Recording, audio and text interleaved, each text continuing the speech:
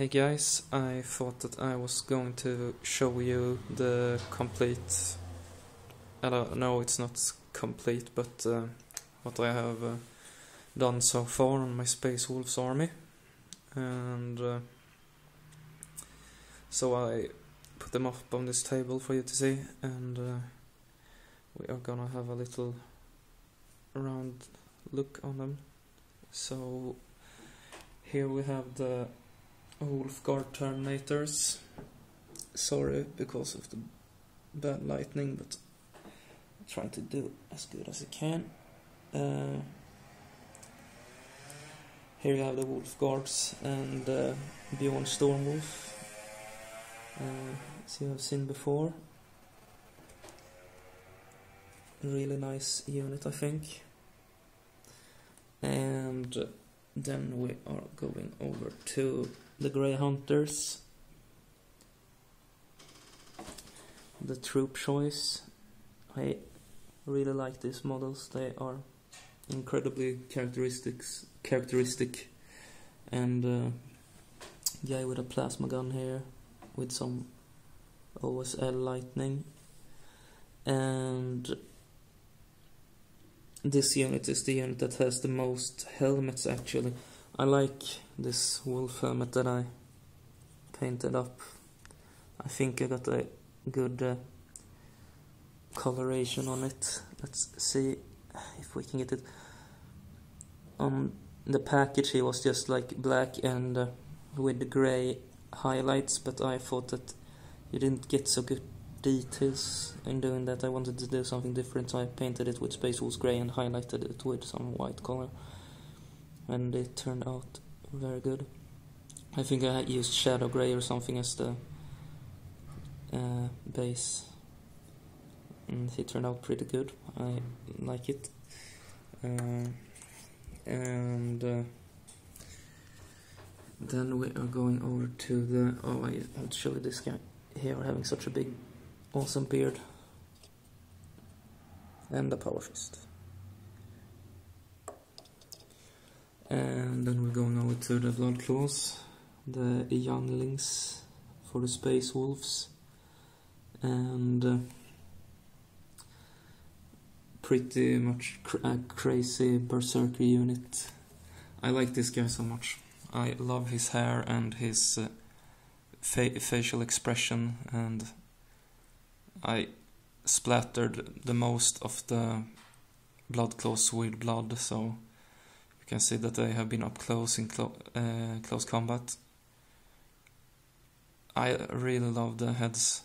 As you see, most of the Space Wolves are not wearing helmets. They are having so many different head options in uh, in their uh, uh boxes. So that is really nice and you have their drop pod back here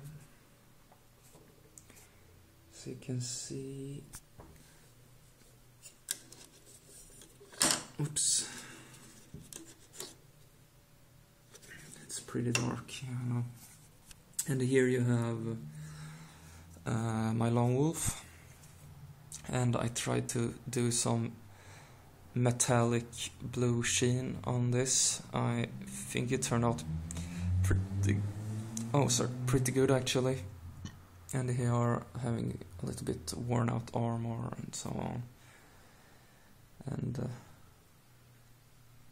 I think he turned out good. He looks, uh, the lone wolf is like a mini hero. You can say he's an elite choice. He's the last of the uh, if a troop if a squad loses their troops and their uh, soldiers, they will not replenish them with other with others. So uh, what a lone wolf means is he is the last of his uh, squad. So he is seeking out a chlorophyll death, so he maybe can be part of the wolf guard terminators, wolf guards uh, for this for the Wolf Lord someday, or he will die a honorable death for his former squad members.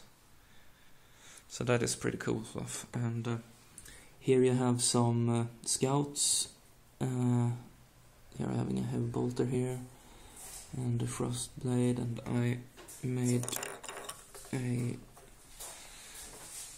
fur out of a bottom piece of a other cloak and upper piece of this I made with green stuff and here having a little bit worn out armor too and um, some of the guys I fixed with uh, dwarven axes instead of uh, their swords so I thought that would be more space wolfy.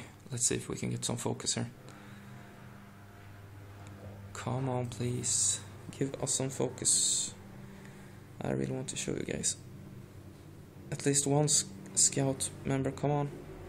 Come on oh my god sometimes this oh now incredible. Yeah you can see his axe there and some OSL from his plasma gun he's having his old man pretty cool.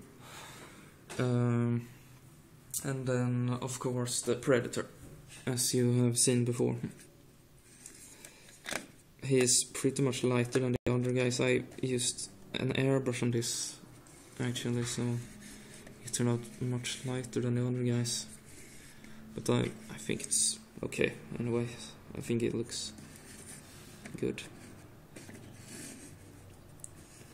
And uh, there you have it guys. I hope that you like my army and so on. And uh, uh, subscribe if you want to. And uh, like if you like. So tell me what you think about my army and so on and uh, thank you guys for watching. I hope you will have a lovely weekend and uh, thanks for me for this time and have a good one